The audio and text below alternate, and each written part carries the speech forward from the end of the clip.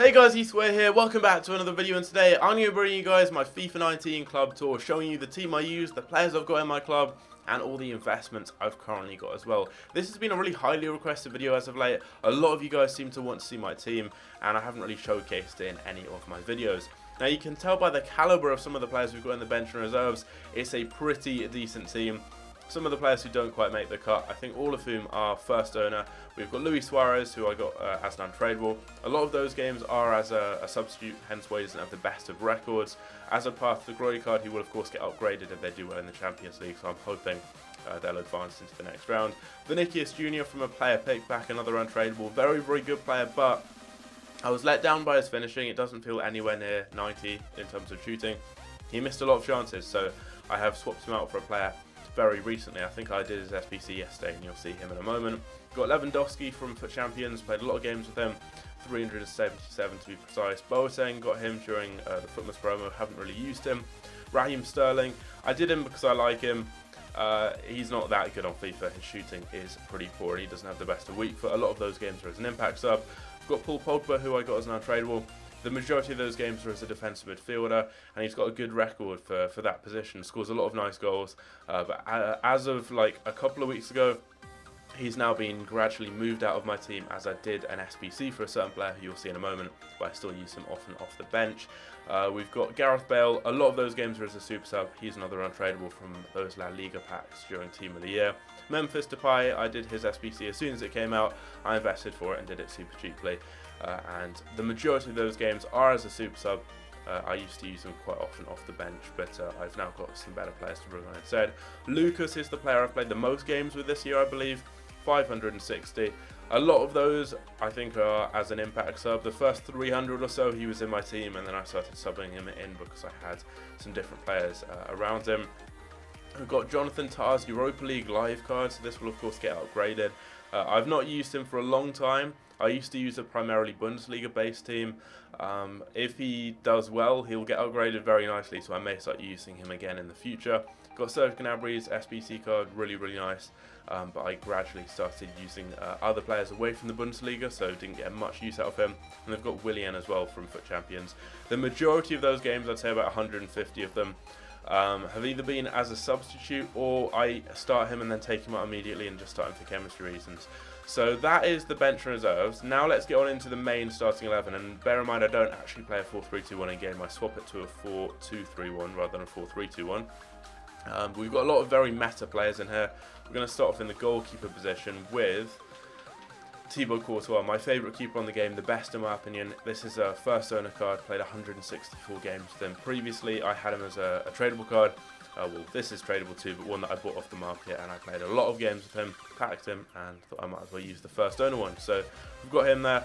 Very, very good keeper. Although as of late, he's been making more mistakes since the patch. I'm not entirely sure why, but I've tried Oblak, I've tried ter Stegen, and he's the best of the bunch in La Liga. Then got Jordi Alba in at left back, my favourite left back on the game. I'd say him and Alex Sandro are very similar. Uh, I just use Alba because he fits the team for chemistry reasons. Marcelo, I didn't like because of his work rates. He was always playing as like a left winger. I just had a massive gap, which everyone exploited, and I scored uh, or I, I, conceded rather a lot of goals down that side. Uh, then we've got two very popular centre backs, probably the two most popular on this game and they are of course Sergio Ramos and Rafael Varane. Uh, played 77 games with Ramos. I've used him on and off. I played a lot of games with him at the beginning of the game. Then I upgraded to Ferdinand. Then I did Campbell's SBC and used him. Then I traded Campbell in for a player you'll see later on and got Ramos back. So he's in the team there. 200k, very, very good player. And then we've got Rafael Varane, probably the most popular centre back on this game. 168k I paid for him a very long time ago and I've played nearly 300 games with him and he's worth every penny. And then in at right back, we've actually got a special card, and it is going to be Lala right here, uh, who obviously I've got from FUT Champions. As you can see, this is his third in form, 178 games played. He is very, very good. He does have a slightly better card, marginally better statistically, and that is obviously the headliner card. But since I already have this as an untradeable, I don't see the point in upgrading right there.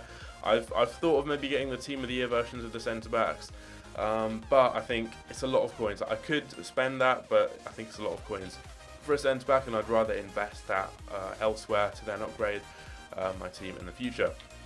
Now moving into the midfield, we've got another first owner player, if I can find him.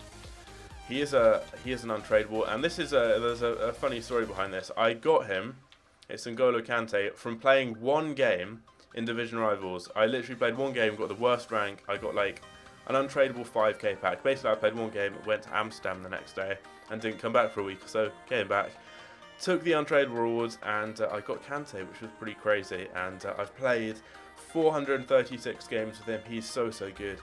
Um, he just clears everything up and makes up for me being pretty bad uh, as a defensive player. I actually got Pogba like the next day, I think, also from really really bad packs. I think that was from like playing one squad battles game for a uh, weekly challenge or something, which is pretty random. Then we've got one of my favourite players on this game, and that is going to be Kevin De Bruyne. Now he's off chemistry; he's on eighth chem in game. Uh, I've played 266 games with him. Uh, on and off between playing him centre mid and attacking midfield, but he's got a pretty decent record. Um, I think uh, I've probably played about half those games as a centre mid and a 4-1-2-1-2 second variation, and the other half of them as an attacking midfielder. His long shots are crazy. His finesse shots were so good, but they've been massively nerfed, and uh, finesse shots aren't OP anymore. His card is just so so good. Perfect attacking midfielder. Uh, obviously, I could like upgrade to his team of the year or something. There are a few upgrades here. Same with Kante, but I like the team as it is, and I've got a lot of untradeables, so I just use a lot of the same players. Uh, we've then got the card that I brought in instead of Pogba, and that is going to be the La Liga SBC Casemiro, and I really, really like him as a defensive midfielder. The issue with Pogba is he had high-low work rates, so he would always kind of be caught out of position. Casemiro's got medium-high, very good defending and physical. Not the quickest, but with the Catalyst game style, I believe. Yeah, Catalyst game style I've got applied to him. Gets him up to like 75 pace. And he's very, very good. I prefer him to Pogba as that defensive midfielder. He clears up very well, and him and Kante form a very, very good partnership. Next up, we've got the first of two icons, and it is going to be Pavel Nedved, who I did very recently. I think I did the SBC yesterday. Played one game with him, scored one goal, 5-star weak foot 4-star skills, really, really nice stats. All round, just everything you want. Strong, very good dribbler, good pace, very good shooting, good passing, very, very good player. And uh, I did him basically for free. I did the Nakata SBC, Prime Nakata, uh, just with untradables. Put him in uh, for the uh, the Nedved SBC. And then apart from the icon, the Nedved SBC is fairly cheap. It's like an 85, 84 and 83 rated team and then some cheap ones. So not too bad at all. I think it was maybe like 100k, not entirely for free, but I used mainly just untradables. Then we've got another icon and that is George Best. Again, obviously the Prime from the SBC. And you can see I've played 176 games with him, 76 goals, 63 assists. Not an amazing record. My wingers never really seem to score that much apart from when I used to use Stoichkov and he was just amazing. Um, but my wingers don't score that much. It generally just seems to be my striker. Best is amazing though, he's got insane stats and he's a lot of fun to use. His dribbling is amazing in game. I often play him as an attacking midfielder. I mix it up a bit in game, you'll see some of the different formations I play. Uh, but finishing off the team, this is a fairly kind of new team I've made. Uh, I used to use um, Cristiano Ronaldo and I had a, a, slightly different team. I had Best, I had Ronaldo, it was a 4-3-3 fourth variation I started off with. I used to use Pogba as well, that was before I then got Casemiro. But then I thought, Ronaldo's sick. He's the best player I've used this year, but he was like 2 million coins, so I just decided to sell him, invest the coins elsewhere, and try and get up to like having a seriously good amount of coins so I can then start bringing Team of the Year defenders, maybe someone like R9 Ronaldo up front, those types of players there. So I'm using Ibra, who is very, very good. He doesn't have the best of records because a lot of those games, I'd say about 70 of them are probably as an impact sub from when I was using Ronaldo. I'd sub him in when I was losing and go to 4-1-2, 4-1-2 and 2 second variation with Ronaldo and Ibra up front. Um, but when I started him all the time, he had a positive goals per game ratio, got loads of assists. He was so, so good. He's probably the second best player I've used this year behind Cristiano Ronaldo, and he was only like 150k as well, and he just has an amazing card. 94 shooting, 92 physical, 6 foot 5, 5 star skills. It's an amazing, amazing card. So this is the team I use. You can see that uh, De Bruyne is obviously on 8 chemistry, but that is the team I'm currently using, and I play this in a 4 uh, 2 3 1 formation. If we go to custom tactics, you'll see here um, actually, no, I have to do this. You can see so my ultra defensive is 5-3-2. Defensive is 4-2-3-1. Attacking is 4-1-2-1-2 second variation with Best and uh, uh, Ibra up front and Nedved in behind. And then ultra attacking is 4-3-3-4. So that is my team. We've got that out of the way, and a lot of people do want to want to see my team. I get lots of comments about it, and unless you watch my live streams, I don't think you'll have seen it. But there's still a lot more to, to see in my club. So we've of course got the the actual club itself. So you can see here we've got man of the matches. I pick up the majority of them as investments. Um, so we've got a few of them. We've got Farman, we've got some informs. I did have a lot more informs, but I've been gradually selling them recently. We've got some ones to watches, just some discard price investments here, a lot of Ultimate Scream investments too, uh, a random man of the match card. I just, as I said, buy pretty much all of them as investments. Then we've got a variety of gold cards there. Pretty much all the expensive ones are for SBCs, not SBCs, uh, squad builders rather. Either the main one that I currently use, the main team I use, or for, for actual videos as well. I'm not sure if you'll have seen a video or not.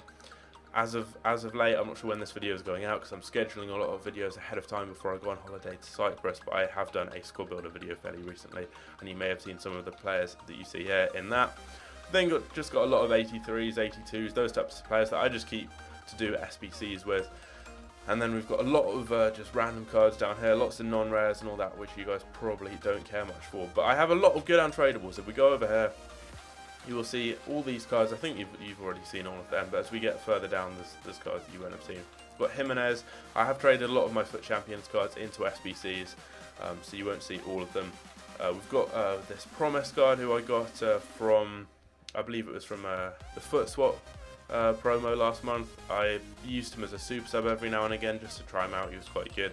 Van Dijk I've not used, but uh, yeah, that's an untradeable. Got him there.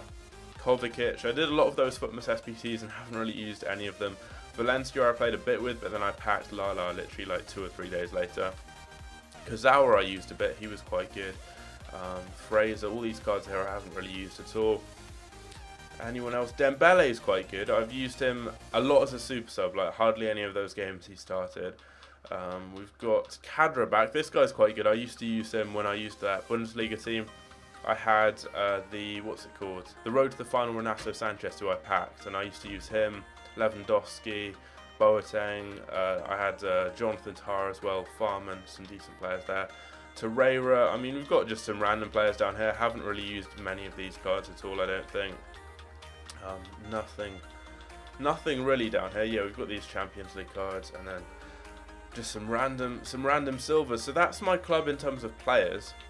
That's what we've got there. But there's still quite a lot more because I've got a lot of cards on my transfer list. I think the total value of my whole club is around 10 million coins. Um, we've got Ronaldo there, who I sold. Uh, we've then got a lot of investments. So I've got loads of man of the match Gameiros I've invested in.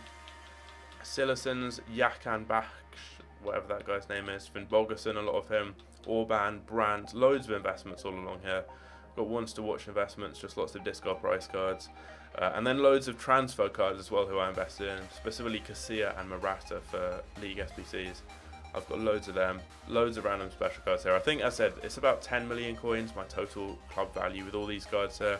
And then all the untradables as well, and like the price of doing the SBCs and all that um, there. And then I think I've got some cards over on my transfer targets as well. Yeah, I've got a few more cards I've been picking up there. But I think, yeah, as I said, the total price of the investments I've got, uh, of the team I've got, all the untradables and everything, and the price of doing those SBCs is around 9 to 10 million, I believe. Um, I think so anyway. Um, I think Best is like 1.5 million, Nedved's about a million, Ibra was like 150k, De Bruyne was like 500k, he was like 400k. I think Kante's like 300k. We're looking at about 350 for the two centre backs. He's about 70. Alba's like 30. Lala's like 160.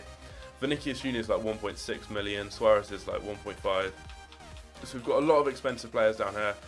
But um, believe it or not, I've only spent like 40 pounds on FIFA points this year, and I got literally nothing from that. It was very early on in the game, um, and uh, I think it was like on the first day or something. We've also got my transfer profit, which is something a lot of people ask about. Um, if we go down past all these people who spend lots of money on the game, uh, we've got 7 million uh, as my transfer profit right there. I haven't traded since the first month or so of the game. Um, that's all just from investing, really. I'd say 6 million or so of that is from investing. Um, match earnings 500. Okay, 190 is my top squad. I don't really think there's much more to cover when it comes to this club tour. Um, showing you guys the team, the players, the investments. all those stats and stuff you might be interested in too. Um, so anyway, I hope you guys enjoy. I've had a lot of comments recently about um, my club, like asking to see my team and that kind of stuff. So hopefully this has answered any questions there. If you guys did enjoy, leave a like, subscribe if you're on your own here, and I'll catch you later. Take care.